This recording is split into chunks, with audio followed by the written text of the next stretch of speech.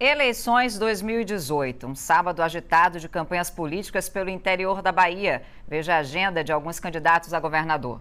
É amanhã a abertura da 43ª Exposição Agropecuária de Feira de Santana, que vai reunir animais de várias raças e muitas oportunidades de negócios e de lazer para as famílias. A gente foi hoje até o Parque de Exposições conferir os preparativos da Expofeira.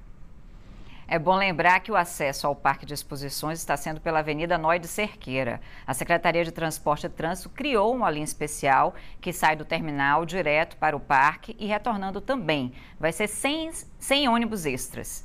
Amanhã também serão aplicadas as provas do concurso para professor da rede municipal de feira. E para facilitar o transporte dos candidatos, 12 ônibus extras serão colocados das 6 da manhã até as 2 da tarde. 12 mil pessoas se inscreveram nesse concurso. Boa prova para os candidatos. Veja agora os destaques do Bahia Rural de amanhã.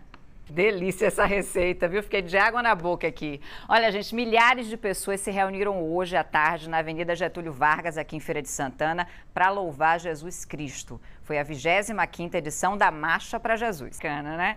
Futebol agora. Mais uma vez brilhou a estrela do garoto Léo Ceará. Ele marcou o gol do Vitória em cima do América Mineiro, gol que afastou o time da zona de rebaixamento.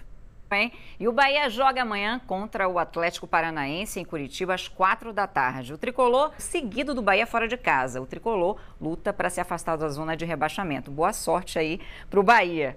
O BATV termina aqui para rever as reportagens que você assistiu. É só acessar o site do João Bahia.